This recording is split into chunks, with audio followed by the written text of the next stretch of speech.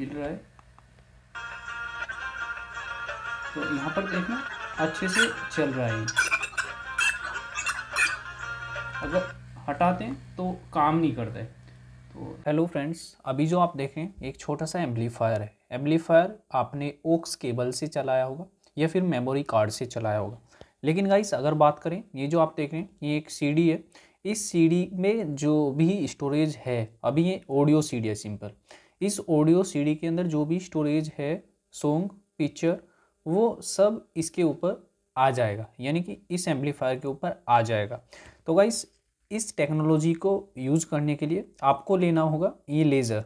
ये laser lens system होता है। यानी कि ये कंट्रोलर होता है, ये फिर बिल्कुल उस तरह से ऑडियो को जनरेट कर सकता है, जिस तरह से आपके ओक्स के अंदर आती है। तो अभी जो आप देख रहे हैं, ये लेंस है। ये डीवीडी के अंदर से आप ले सकते हैं या फिर लैपटॉप के अंदर से भी ले सकते हैं। अभी जो आप देख रहे हैं, इसके अंदर कुछ कनेक्शंस होते हैं। वो कनेक्शंस आपको लेने होंगे।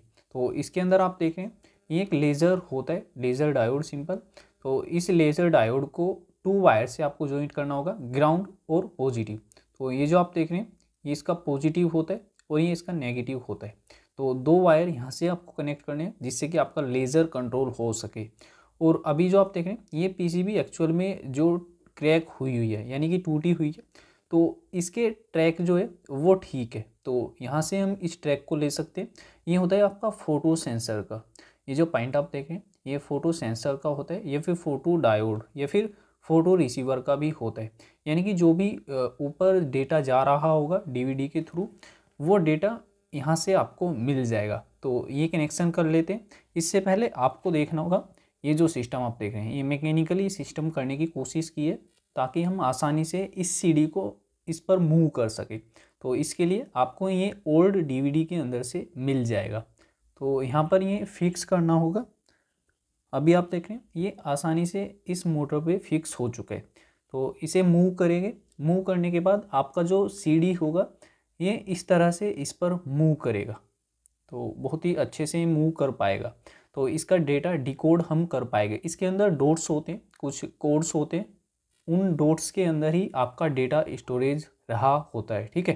तो ये टेक्नोलॉजी कैसे काम करती है, ये देखने की कोशिश करते हैं। फ़र्स्ट ऑफ़ ऑल हमें कनेक्शन करने लेज़र डायोड के और टू कनेक्शन आपको यहाँ से लेने जो फ़ोटो सेंसर से आते हैं। अगर आप कोई लैपटॉप का लेते हैं तो वहाँ पर फ़ोटो सेंसर के बहुत ही सिंपल तरीके से आपको कनेक्शन मिल सकते हैं। गाइस, ये जो कनेक्शन आप देखें, ये इसके कोऑर्डिनेट्स के होते हैं, एक्स वाई कोऑर्डिनेट्स के। ये कोयल होती है। इसे एक्चुअल में मेज़रमेंट लेना होता है। जब भी ये डीवीडी के अंदर मूव करती है सीडी तो ये ऑटोमेटिक अपना मेज़रमेंट कर लेता है। तो हमें यहाँ पर मेज़रमेंट नहीं करना। हम अपने हैंड से ही इसे इस प्रकार से पकड़ने की कोशिश करेंगे। और जो भी सॉन्ग होगा, उसे डिकोड करने की कोशिश करते हैं। तो कनेक्शन करते हैं इसके अंदर। तो इसके लिए आप देखें, ये एक एम्पलीफायर है। सिंपल छोटे से ऑडियो सिग्नल को ये बड़े ऑडियो सिग्नल में कन्वर्ट करता है। देन आप इसे स्पीकर पे सुन सकते हैं। तो यहाँ पर आप ओक्स भी लगा सकते हैं सिंपल यहाँ पर ओक्स का ग्राउंड और यहाँ पर ओक्स का पॉजिटिव लगाना होगा। तो ये ही कनेक्शन हमें यहाँ पर करने होंगे। और लेज़र का आप फाइव वोल्ट से इस लेज़र डायोड को ग्लो कर सकते हैं। तो गाइस लेज़र डायोड की अगर टेक्नोलॉजी की बात करें तो जैसे ही लेज़र डायोड ग्लो होता है तो लेज़र लाइट पड़ती है आपकी सीडी के ऊपर। ये जो आप देखें, यहाँ पर इस साइड ये लेज़र लाइट पड़ती है देन उसके बाद ये रिफ्लेक्ट होके वापस जाती है।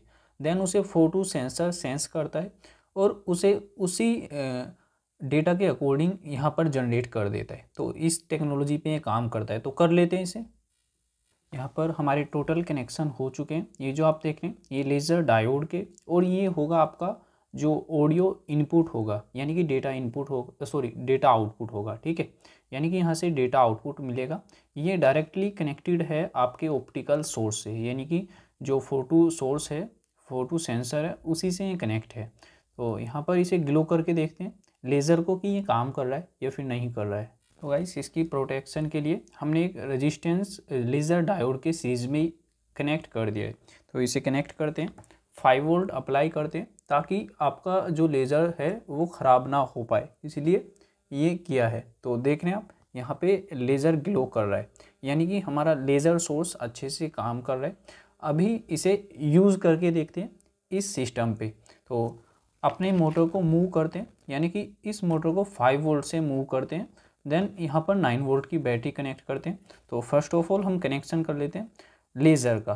तो लेज़र का कनेक्शन आप रजिस्टेंस के माध्यम से इसके अंदर ही कनेक्ट कर सकते हैं।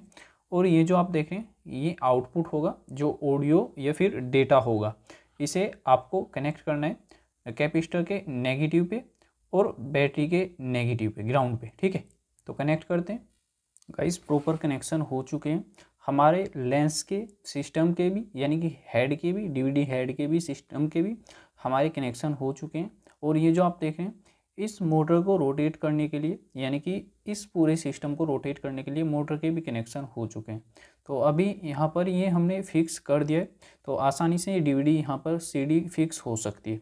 तो इसके अंदर आपको ऑडियो सीडी ही लेनी है, वीडियो पे ये सपोर्ट नहीं करेगा।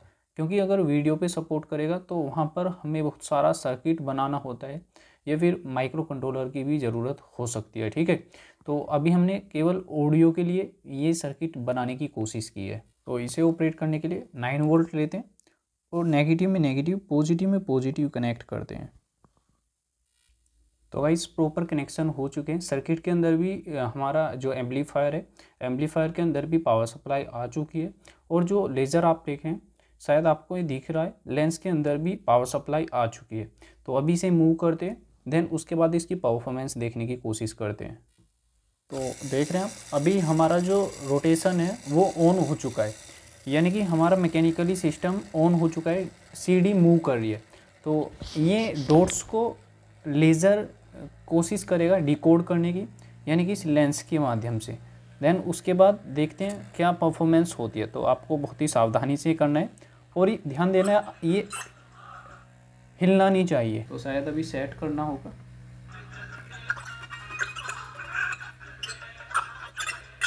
तो शायद आपको क्लियर हो रहा। अभी जैसे हिलता है तो काम नहीं करता।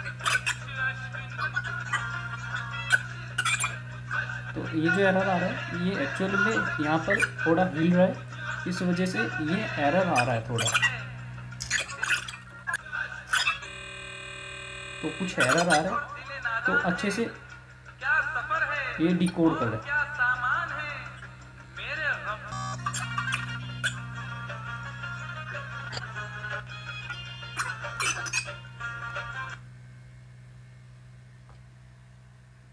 तो शायद ये हिल रहा है। तो यहाँ पर देखना, अच्छे से चल रहा है अगर हटाते हैं तो काम नहीं करते। तो शायद हमारा जो सिस्टम है, ये वाइब्रेट के वजह से दूर जा रहा है। तो फिर से कोशिश करते हैं, कोई वायर लूज है शायद।